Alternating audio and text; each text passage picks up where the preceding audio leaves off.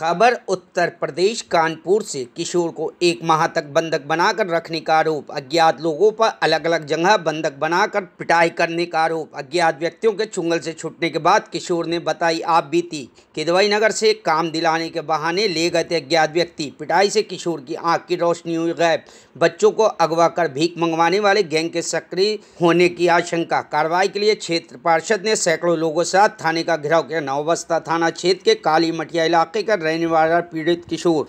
थाना नौबस्ता क्षेत्र के अंतर्गत रहने वाले सुरेश मांझी, पुत्र मुसाफिर मांझी, उम्र लगभग तीस वर्ष द्वारा तहरीर प्रस्तुत की गई, जिसमें बताया गया कि विजय नामक व्यक्ति ने काम के बहाने बुलाकर बंधक बनाया। वह मारपीट करने के बाद कानपुर से दिल्ली जाने वाली ट्रेन में बिठाकर सात हज़ार रुपये में दिल्ली बेचा, जहाँ भीख मंगाने का काम कराया। उक्त प्रकरण में पीड़ित का मेडिकल परीक्षण कराया गया। वह थाना नौबस्ता पर प्राप्त तहरीर के आधार पर अनेक धाराओं में अभियोग पंजीकृत कराया गया। वह विवेचना सहायक पुलिस आयुक्त गोविंद नगर द्वारा संपादित की जा रही है। वह विजय नाम व्यक्ति तलाश शुरू कर दी गई है। एवं एक टीम दिल्ली के लिए रवाना कर दी गई है।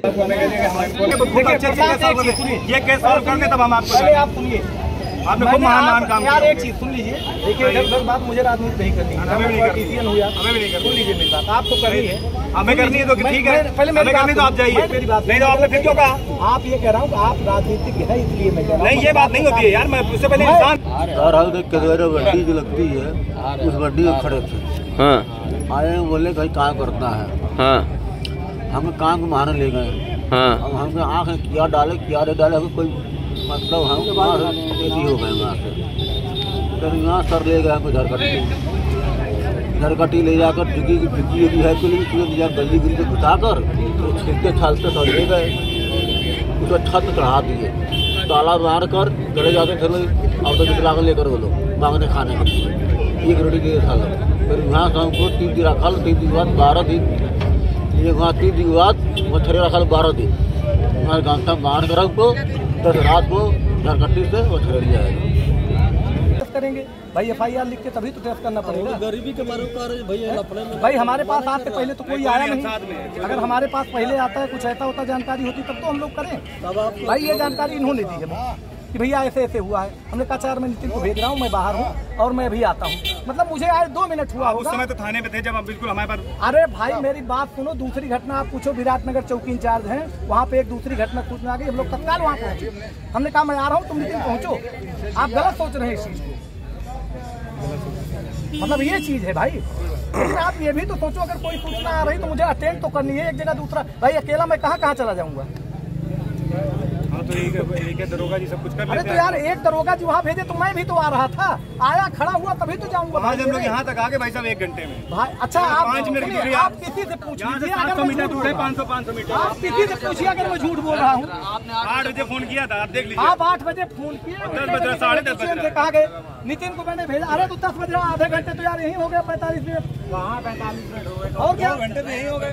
यहाँ पे? अभी आपको कैमरा लगा के चेक कर लीजिए आप खुद चेक कर लीजिए। आप खुद चेक कर भाई मेरे। आप खुद चेक कर लो। भाई मैं अकेला एक ही जगह जा सकता। हूँ दस जगह थोड़े पहुँच जाऊँगा भाई मेरे। अभी मैं ही आपको फ़ोन करूँ कि प्रशांत यहाँ आ जाओ फिर कहते भैया वहाँ दूसरा आदमी तो आप भी तो एक जगह पहुँचोगे। इतनी बड़ी अगर हमको दस मिले हैं तो काम इसे कराएँगे कि ऐसे थोड़े करा लेंगे। उसके साथ घटना घटी कि क्या नाम है? कोई किसी काम में रुचि नहीं लेनी है इनको क्षेत्र के कोई भी काम हो इसी से जुड़ चले। उसको बुलाया बुलाया जा रहा है उसको आज देखना नहीं है। उसके बाद भी।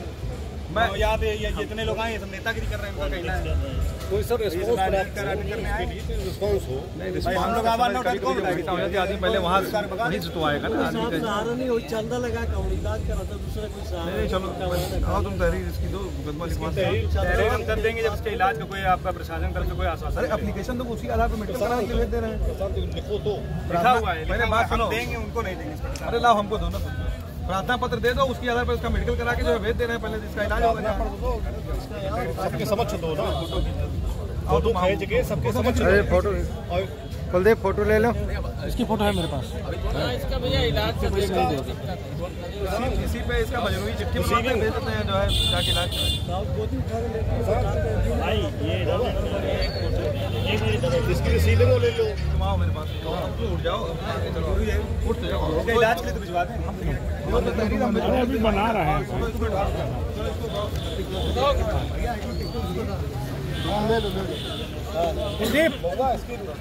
बनाओ कुर्सी चलो बैठा यहाँ लेके कुछ कुर्सी बैठा दो इसकी मजदूरी बनवा दो। अभी कुर्सी हम हाथ लगा रहे हैं कुर्सी बैठाओ इसकी मजदूरी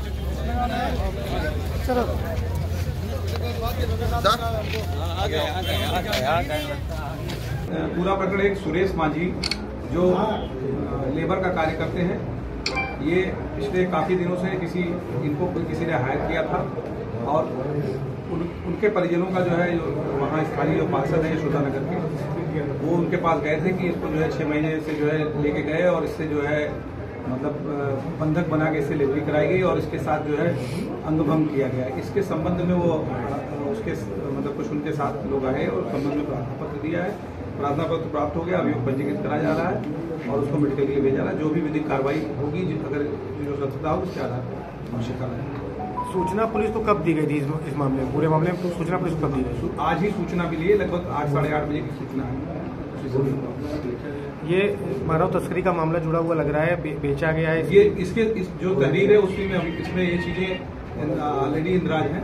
उसमें अभियोग पंजीकृत कर रहा है। जो- भी होगा ह्यूमन ट्रैफिकिंग का कोई प्रकरण होगा तो वो बेचना से वो सारी चीज़ें इसमें एक नाम विजय का नाम कोई आ रहा है और एक कोई मोबाइल नंबर है उन सबको जीरोइंग करके जो है जो भी अगर घटना इसके साथ हुई तो जो है एक्चुअल कल्पिट है उनके साथ जैसा जैसा कि परिवारिकजन बता रहे हैं कि पहले पुलिस को जब इन्होंने सूचना दी थी तो संबंधित थाने से कोई खास इनको वो नहीं ऐसा कुछ नहीं है।